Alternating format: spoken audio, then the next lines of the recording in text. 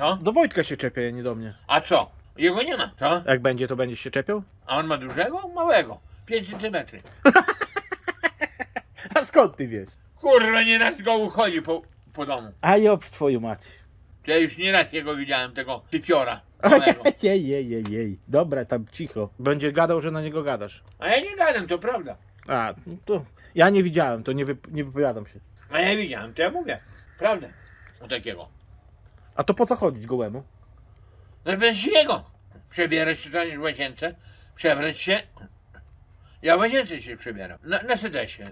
Pokrywę ciach, siadam, spodenki, spodnie zdejmuję, spodenki zdejmuję, nikt nie widzi. No tak powinno być, no. Wiesz.